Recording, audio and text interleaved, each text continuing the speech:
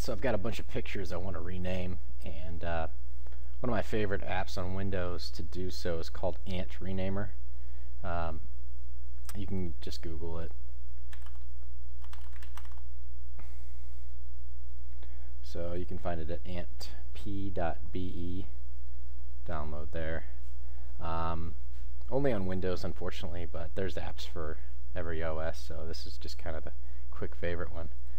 So I've um, got a uh, folder I want to rename of a bunch of pictures I took on a vacation. Um, so basically what I like to do is uh, show both windows and then you know you could take a whole folder or you can select pictures individually so these are all from the Philippines so I can select all these and I drag them in and it'll prompt you to see if you want to add all the subfolders if that's the case if there are uh, multiple pictures uh, folder pictures. And I'll ignore that. Alright so it lists it and just for this rename I'm going to keep some of the num numbers as part of the file name uh, but I want to put you know Philippines in front of it instead of the regular photo uh, automatic rename. So I go to Actions, and what I'll do for this one is a string insertion.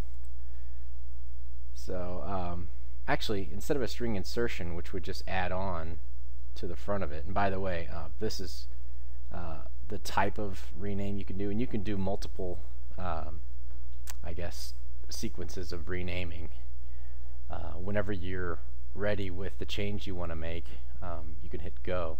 So down here at the bottom it kind of shows you what to expect and it takes the first file name and the in the number of files that you had and shows you what it would look like. So um, you know I decided instead of a uh, insertion I'm going to do a replacement. So a string you know it's just a, a certain number of characters and um, down here it's showing me the current name so it looks like just based on the number of files um, you know the P103 is for all of them. So I could actually search for P103 and then replace it with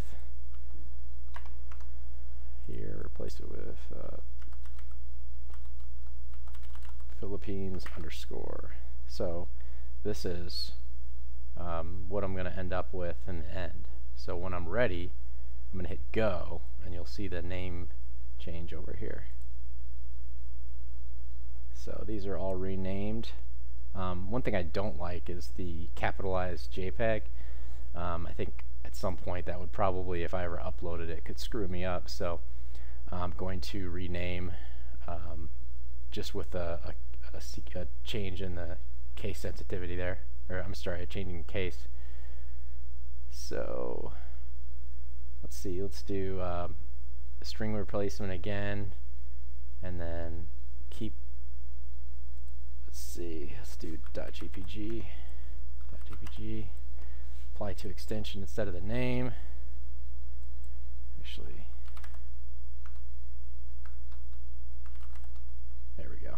So search for the large JPG, replace with the small JPG.